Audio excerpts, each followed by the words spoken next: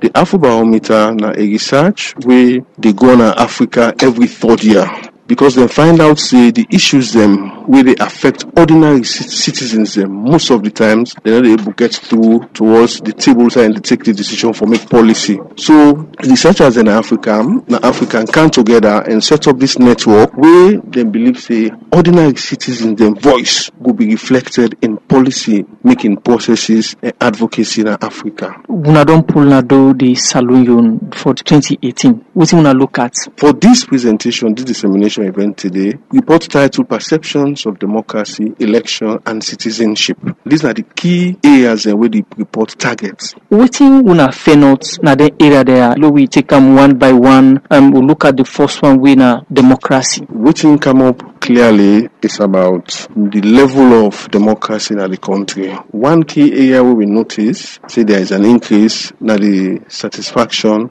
of democracy. In 2015 we we bin pull the democracy report now we find out say a lot of challenges dem be dey and in terms of satisfaction people dey not be able for satisfy democracy We wey dem want am. We find out say 2012 the statistics show say about 60 five percent of Sierra Leoneans say dem dey satisfied with the way democracy dey practice. But coming down the line to 2015, we find out say the figures go drastically down to 29 percent. But from 20, that 29 percent in 2015 now, the statistics don't come up to 66 percent, wey dey show say people eh, prefer democracy as any other form of government in Sierra Leone. also under the democracy column um, una get uh, a question we say should the president obey the laws of sierra leone wetin are the results wey una get in that area dey This basically they compare in terms of if the president suppose for obey the laws of the country or enough for suppose for obey the laws. And we get 71% we say the president should obey the law in court because as a president you get for obey the laws wey dey govern the country then the court sef wey dey for support you for govern the country. Whereas we get about 27 wey say the president can just rule wey e no suppose for obey the court e no suppose for obey the law. The people eh, in any way tell una why this um, call? Me no wey be say na this na perception survey na opinion polls. You no go able know wetin make people eh, go say this as against that. Only opportunity as a country we get we get for the opportunity for choose five questions eh, wey we call country specific questions dem csq wey we dey look at trending issues in country from that point na then question they will put forward and incorporate into the afrobarometer questionnaire na a hundred question questionnaire. okay um, away from democracy we look at the other one wey um, get for do with elections na salon we look at how free and fair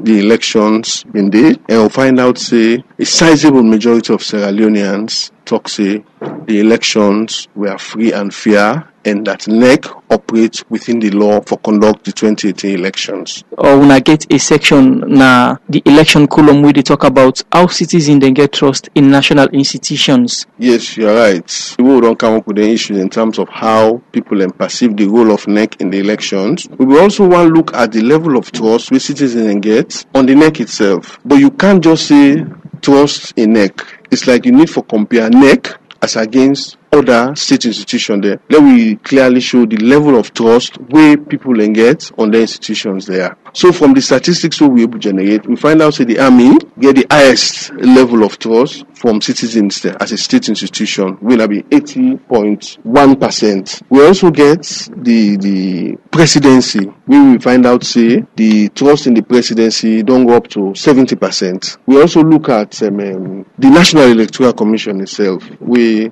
the trust level was 64%. Parliament gets a level of 63%. The local government council gets 59%. The court of law gets 56%. And we find out say the police then they down the ladder we then get something like we then get 37% of trust rating. wetin dis dey communicate The army in trust we then get um, but um, not only we people are supposed for fear because we don't see the army in several capacities uh, where they can come in. For example, in the election uh, elections we know about MacP. When the police be just handle things, we see the kind you know way we can be, we you know can really end up the way we can end up. But whenever the army come in, we see that then they able for do the constitutional function where they can call them for can support or aid the police. So in a way, we they look at this based on the functions them, then constitutional mandates we then they do over time. Now based on that make the trust level so high Waiting at the findings in the area of dual citizenship. So from the statistics, we find out say, I mean, 56% say dual citizens no for allow them for stand for any elected office. Whereas in terms of let them vote, citizens then be split because you get 49% where they say they strongly agree, say people with dual citizenship for vote, whereas we get I mean, on the flip side, 45 where they say no, they're not for vote at all. Wetin have been the process we wanna use for get then statistics here you dey talk about? Na through random, simple random sampling where everybody once you don reach the age of 18 upwards, you get the chance for let them target you for let you take part in the survey, you understand? And for we, the Afrobarometer, we sample size we dey use is 1,200. So in a way, we dey administer 1,200 questionnaire across the country. 50%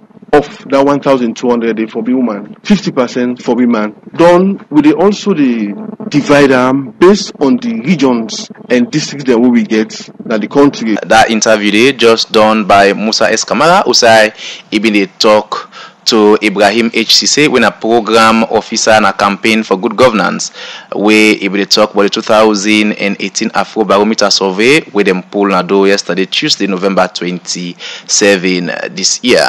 Well, um, we do this verification, but make sure say we get the right people at the right place.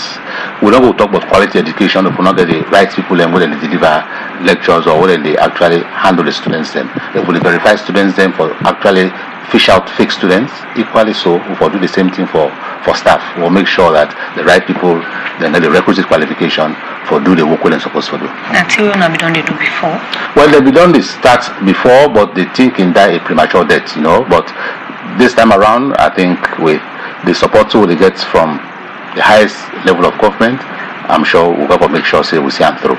Okay, you think say the reason we make una begin this verification process, una we before achieve them. We them.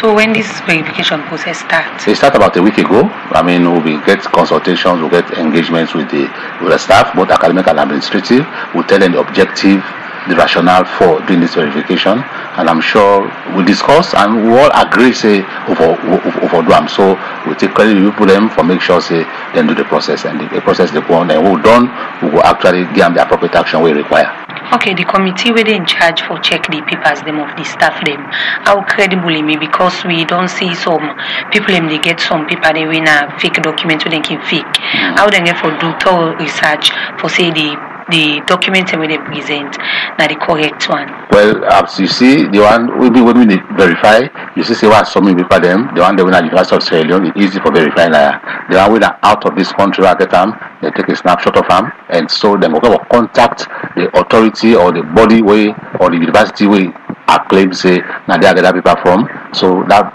university na go for actually confirm say in fact this person na this university na they go. So for staff we no get for we no go meet up for the part of the verification process, who's actually the university body go take again. We then go fall foul of the process. Well, if the person not pass, as far as me concerned, you can't see now you get this paper, they will find out was not pa- the paper there. We will take the appropriate action. We will either dismiss you or even if necessary, we hand it over to police because as far as fraudulent that. Well, in name na Professor Foday Sahr, we na the acting Vice Chancellor na the University of Salone. As we end the interview day with Princess Pierce, Osa he say the university they do not verification for them staff and lecturer them for make sure say they get the right document them for the work within the do. The program na Good Morning Salone, and we come back to we guest na the studio Mohammed Massaquoi. Right, Mr. Massaquoi, let me look at challenges them una don don don dey face with in um, doing the putting the systems there so together. Wetin are some of the challenges there? Uh, well, largely okay challenge, but we see as an opportunity for improve and and empower we for do we work. Uh, now the willingness and commitment of the people of this country for cooperate to the process with sincerity, because if you say no lie, give the right information, you get the onus for provide that.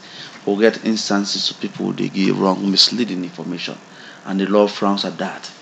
It's a, the penalty they will say if you go declare give wrong information to the authority, and then they find you guilty for that, they will punish you.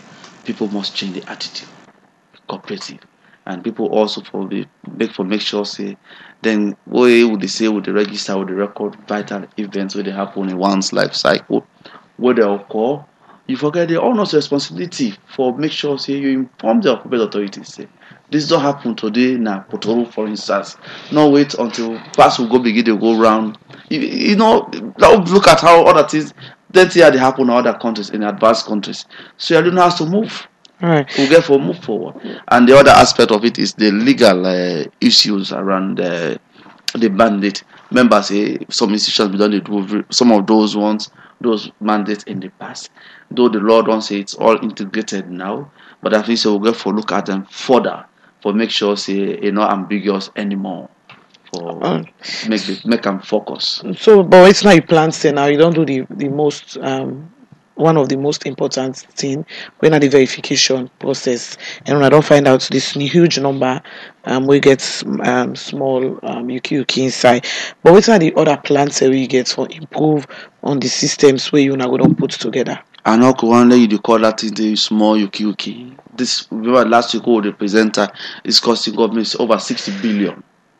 The losses where people did to cause this, this country over 60 billion. Translate that that will give you so many health facilities. That will give you so many drugs. That must stop. It must stop. No so. And therefore, in terms of plans, we will get now for make sure say. Uh, for instance, we, we recommend in the report we will give and uh, will get a biometric time attendance system where they capture everybody, every civil or public servant, anybody who go to government work. Where you go, say you clock in and out. If you don't go that, but since we get the capacity, we they interoperate with all of those agencies, and before they month and we give the report to HRMO with an accountant general, they ain't going to inform them for pay for pay salaries, so that you go stop absenteeism and tardiness. People that would they go work or they go late for work.